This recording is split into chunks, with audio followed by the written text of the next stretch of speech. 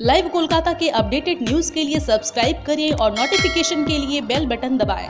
एक बार फिर से भारी बारिश ने देश के कई राज्यों में उत्पात मचा दिया है। महाराष्ट्र, केरल, कर्नाटक, तमिलनाडु समेत कई राज्यों में बारिश और बाढ़ से हाहाकार मचा हुआ है।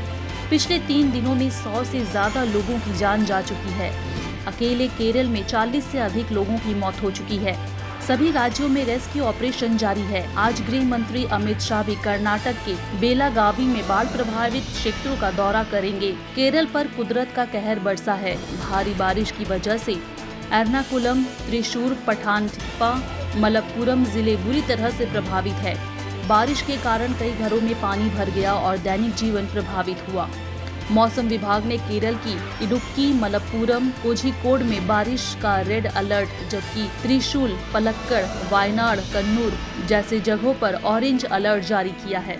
दक्षिण पश्चिम दिशा की ओर से 40 से 50 किलोमीटर प्रति घंटे की रफ्तार से हवाई चलने के आसार हैं। इसके कारण मछुआरों को समुद्र में नहीं जाने की सलाह दी गई है।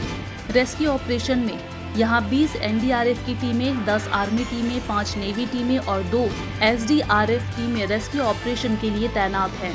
तो वहीं महाराष्ट्र में अब तक दो लाख से अधिक लोगों को सुरक्षित स्थानों पर पहुँचाया गया है। कर्नाटक और महाराष्ट्र में लगातार हो रही मूसलाधार बारिश के कारण सड़क और रेल संपर्क प्रभावित हुआ है। कई ट्रेनों को भी रद्द कर दिया गया। तमिलनाडु में भी भारी बारिश से नुकसान हुआ है।